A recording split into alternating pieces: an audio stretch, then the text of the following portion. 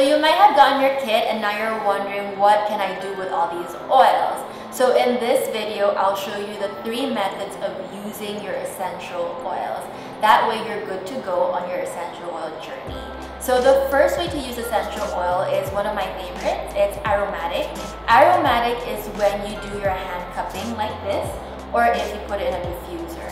Aromatic is a perfect way to use essential oils when you want to change your mood in a snap. It's also a perfect way to share the essential oils in a room with your family. So if you have, you know, really young children, if you have pets or even elderly, this is the safest way to use and it fits everyone. Now, let's say if there is a flu going around, you can also diffuse essential oils because essential oils in the air has the power to kill airborne pathogens.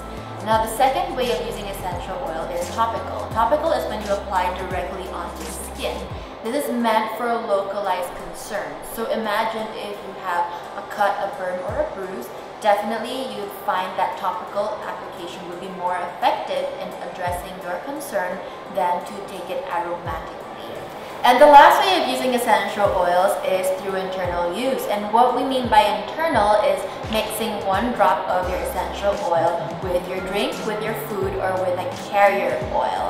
So one of my favorites is the lemon oil. I like to take one drop in a glass of water every morning because it helps wake me up. It helps with my pH balance and also it helps soothe my dry itchy throat which does happen every morning. Now, please keep in mind just because the oil is pure doesn't safe for internal use.